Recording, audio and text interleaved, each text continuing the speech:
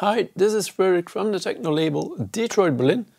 Today it's going to be a rather short episode. Today we have the A162, the dual trigger delay from Doepfer. Let's go over the controls, which are few and it's pretty simple. That's why I love this thing. It's cheap, it's super simple, and yeah, it has two of those trigger delays in it. I've got two of those dual trigger delay modules and for now that's sufficient. So let's see. Dual trigger delay, the A162 from Doepfer. It has two parts that are identical. You've got the input, you got the output. So signal goes in, signal goes out, and there's not more to it. Then you got the delay and the length knob. So the delay actually delays the signal in time. When normally the trigger would go, when you turn the delay up, the trigger will wait and it will trigger somewhere later in time, which you can actually fine tune with the delay knob. And the length is the length of the trigger. So when you have like a small gate triggering this module, when you put it all the way down, it becomes a really fast trigger. When you have a trigger going in, even when the trigger is pretty fast. You can even make it faster by turning this knob all the way down. The fastest trigger you can possibly have. So in my case, this is very handy. Maybe in your case also. And when you have the trigger going in and you turn the length knob clockwise, then it becomes a longer trigger, an even more longer trigger until yeah you can call it a gate and yeah the further you turn the knob clockwise the longer the gate uh, becomes. One thing is interesting to take note of with a quick sequence uh, yeah then you have not that much wiggle room. In short this module is extremely useful for instance making really short triggers to prevent uh, double triggering of modules with analog trigger inputs. Um, you can make gates out of triggers. You can uh, make swing patterns by delaying the trigger on one part of the sequence and sending the other part directly, combining it and having the swing so with analog trigger sequencer from Doepfer, when you don't have the sequencer controller, uh, you got only the three triggers and one gate. You have two rows of CVs. So if you want more gate signals, if you combine it with the trigger delay, the dual trigger delay from Doepfer, you can actually turn two of those trigger sequences, you can actually turn it into a gate. So this dual trigger delay, it's a really simple module, but if you have a big modular system and you work with trigger sequencers, then I think it's a must-have to have it in your system. It's two in one and yeah, if you have two, that multiplies. So if you have a few, you got plenty of options to create swing and yeah, gates from triggers, triggers from gates. And I must say this module is for me kind of a lifesaver because I have the Nord drum. The Nord drum takes analog triggers, like from the analog trigger sequencer from Doepfer. And when it takes those triggers or any other sequencer, Eurorack format, when it takes those triggers, it sometimes double triggers. And what I found out is that a dual trigger delay not only delays triggers, you can also make gates from triggers, but when you turn it all the way down, the length of the trigger, then the trigger is this short that the Nord drum doesn't double trigger anymore. So that's amazing and I'm really glad this module exists. But not only for that purpose, also for when you want to create some swing.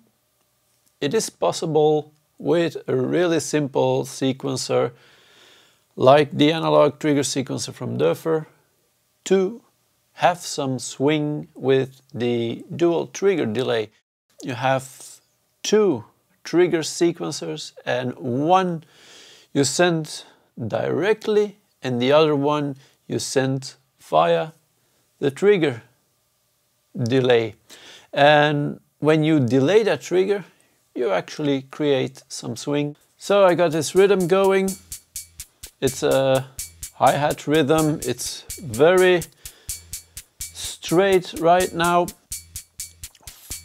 Got eight steps. First is going directly. Second is going via the trigger delay. Third is going directly. Fourth is going via trigger delay. Fifth directly and so on.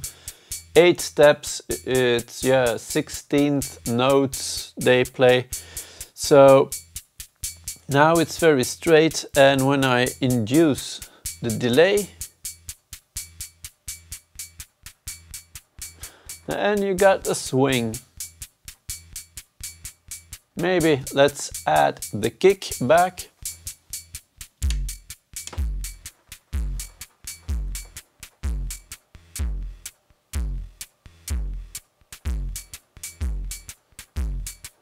And when you delay too much, then yeah, it overlaps with the yeah the other trigger. So then you got only one trigger or very short triggers close together. Let's turn that kick down.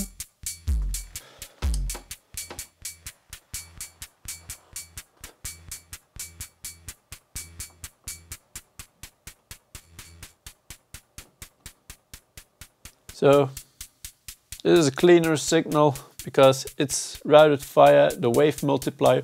I did a video on that one, so yeah, you can always find it on my channel.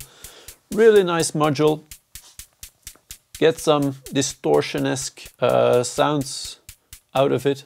So when you got this problem that a drum machine like the Nord drum or another drum machine with analog inputs, uh, trigger inputs, when this double triggers, and I actually found out why it double triggers, and it's not consistent. It sometimes does, it sometimes don't, but like all the time. so it's not consistent, but most of the time when you got the added voltage of the trigger, then it triggers once, and when this control voltage drops, then it triggers again. So when this is really short, it only triggers once. With a trigger delay, when you put the length all the way down, it doesn't double trigger anymore. I'll try to show you. Now I have the snare sound because it's more noticeable with the snare sound.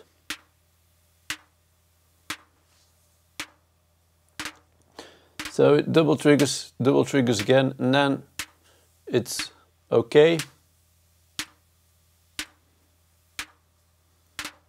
It double triggers again, and it keeps double triggering. Now it's okay. So that's really annoying.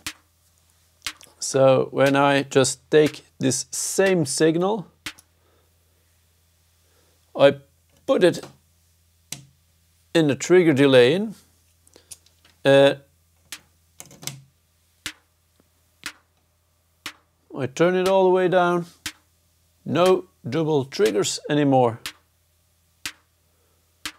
When we make it longer, the trigger, when it becomes almost a gate. Now it's longer than the normal trigger was and it's still at a pretty low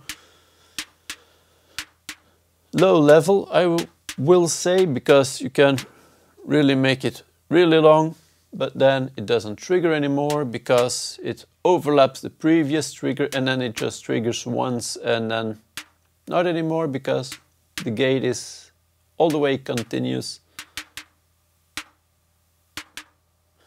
Still double triggering, only when it's all the way turned down, the Nord drum doesn't double trigger anymore. So this module for me, it's really a lifesaver because double triggers are really the worst because they're not musical. Sometimes it might be musical, but normally it's not that musical. So um, yeah, I would like to thank you for watching. If you haven't subscribed yet, please do so. Also have a Patreon page. Please join my Patreon page if you want to support me with this Doepfer module journey. Uh, and yeah, support will be really welcome so I can continue making these videos. So yeah, that concludes this episode and I would like to thank you for watching and hopefully see you next time. Bye bye.